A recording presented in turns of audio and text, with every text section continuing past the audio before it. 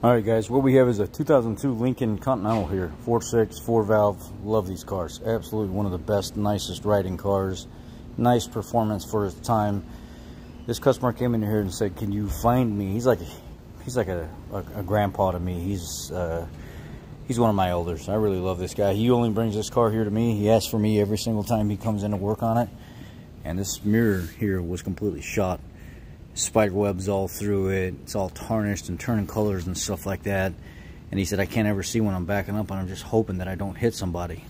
What I did, because I couldn't find a heated one, is I paid for it out of my pocket. But I found on Amazon, it had auto and truck mirrors, unlimited. And I found this um, that would fit a Lincoln Continental. And basically, you can cut to fit the double-sided 3M type pads on that, and you actually prepare it, clean it, and adhere it to there, and then you have your mirror back.